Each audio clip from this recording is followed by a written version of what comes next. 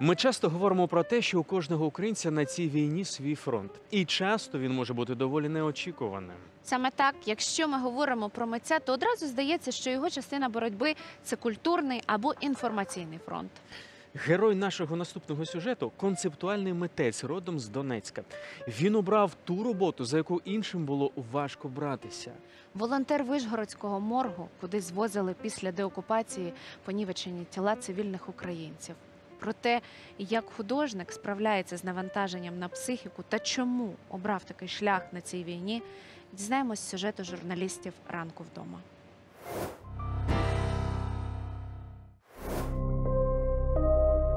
Багато ти бачиш такого, що і в житті б не хотів би побачити. Ну, наприклад, катування або жіночі тіла спалені. Жахіття, які довелося побачити Олександру Кроліковській на власні очі, просто неможливо уявити. Сім тижнів він волонтерив у Вишгородському морзі, куди після деокупації Київщини привозили тіла закатованих росіянами українців. Перші дні це була дуже важка, виснажлива і ну, супер неприємна робота з мертвими тілами. І до того ж, я так розумію, що ніхто не був готовий до цього.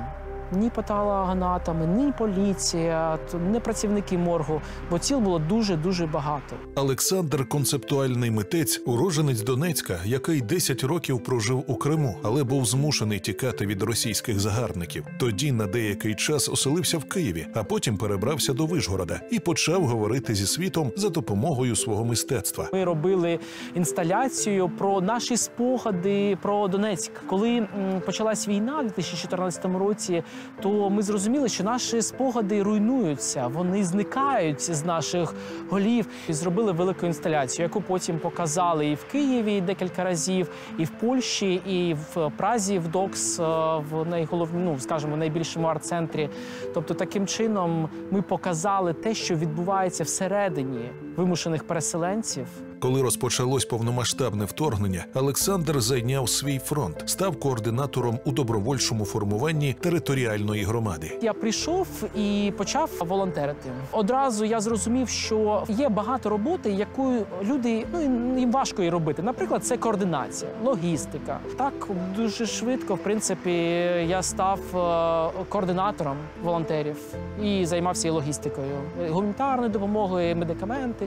Згодом його допомога знадобилась у місцевому морзі. Олександр взяв іще трьох друзів, і разом вони почали допомагати патологоанатомам та поліції. Ми повинні були вантажити. Було, наприклад, приїжджає машина, і треба це розвантажити в таку комнатушку в морзі, а потім е, поліція оглядає всі тіла. За весь час роботи через його руки буквально пройшло щонайменше 300 вбитих росіянами українців. Бачити таку кількість тіл, контактувати з ними, усвідомлювати масштаби вбивств невинних людей це дуже важко, згадує Олександр. Але допомога волонтерів була вкрай необхідна не лише українським професіоналам, а й закордонним. Ми були асистентами французької наукової жандармерії.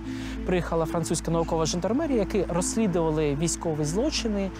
І так як це дуже важливо, ми також намагалися їм допомагати ну, по максимуму. Аби хоч якось пережити побачені жахіття, Олександр вирішив брати із собою камеру та документувати всі процеси. Фотографія допомагала йому бодай трішки дистанціюватися від ситуації, в якій він перебував.